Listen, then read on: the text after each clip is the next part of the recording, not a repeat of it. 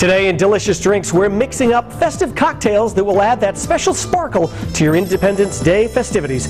Joining me to show us how is all uh, everything he knows about cocktails, cocktail guru Jonathan Pogash. Hello. How you doing? Happy 4th of July. Yes, you too. Happy Fourth of July, everyone. Okay, we think uh, Fourth of July. You got the cookouts. You got people coming over. Everybody wants something new to you know to taste at their at their cookout or party. and something with alcohol in it. And so, well, that doesn't hurt. That I don't think absolutely it doesn't hurt. What do you got for us? So, so this is called My Blue Lemon, and this was inspired by Fourth of July, obviously. I've got some blueberries in here. I have some lemon mint uh, that is from my garden, fresh. Uh, it's deliciously herbaceous. I have some agave nectar that I'm going to add to this. And some freshly squeezed lemon juice, about half of an ounce, right. or about half of a lemon.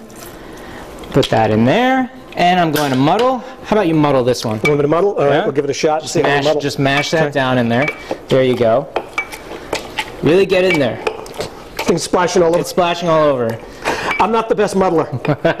You're a good shaker. We're a good shaker, not the best Okay, muddler. good. There you go. There we go. So I'm going to put some gin, and there's there's nothing more American than gin. Than gin. No, uh, but this is New Amsterdam gin, which is made in America. So that's actually. good. So it is. It is good. It is good. Uh, we're going to pour that about an ounce and a half. I'm going to give that a shake. Shaking it up. Okay. There we go. And I'm going to pour that right into my glass. So we get some of those nice pieces of uh, mint and the blueberries, a couple of fresh blueberries right on top there. And there you go. Okay, we'll give this a taste. Yeah. See what this is. Well, that's good too. Oh, good. So far, you're, you you. know, Uh, you, you, you're doing really well. Par for the course? Yes, you are. Oh, good. I'm, I'm happy about that. Thanks, Mark. Yeah. Next up.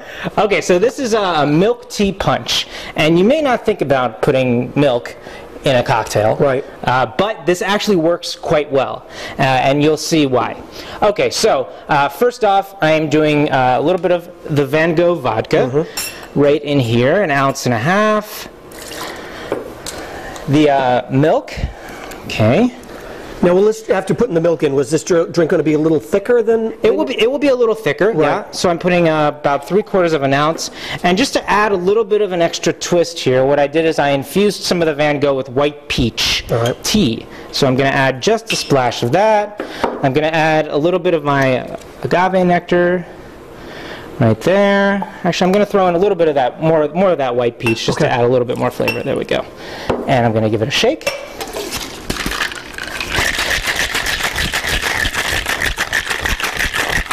There we go, nice and creamy. Strain that out into the glass with an ice cube.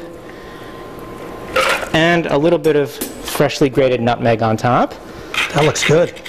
Which is sort of a fall and, and winter like. I was going to say, yeah, it- with, especially with the nutmeg. but it works for the summertime. Hey, you know Anyth- anything goes. It's the Fourth of July. There won't be anybody complaining. Exactly. uh, and then, and then finally, last but not least, this is a communal drink. It's a pitcher drink or a punch drink. This version I made non-alcoholic, but you can certainly fortify it with your favorite liquor. If you want Uh, a little kick to it. if you want a little kick, I like using rum for this particular cocktail. So this has pomegranate juice, mango nectar, a little bit of fresh lemon juice, and some raspberry iced tea. And you know, I notice a lot of the drinks now are using the pomegranate too. Is that something new that a lot of people are using? Pomegranate is, is you know, uh, people are into the healthy cocktails nowadays, yeah. healthy ingredients. Sure. So pomegranates are high in antioxidants. So uh, it- it's been it's been a trend for the last few years. Okay. And if you look at the three together, You are good. we try. You I, are good. I tried. Okay, the blueberries come out kind of light purple. That's all uh, right. But we've got the red, white, Red, and white, and blue. All right, looks good to me. I'm going to take a little of the red, if that's okay. That doesn't have the liquor in it. Oh, that's all right. We'll give it a shot. Okay. anyway. Okay. That's delicious. All right, thank you. Happy Fourth My of pleasure. July. Thank if you. you want 4th these recipes, head to our website, wpri.com.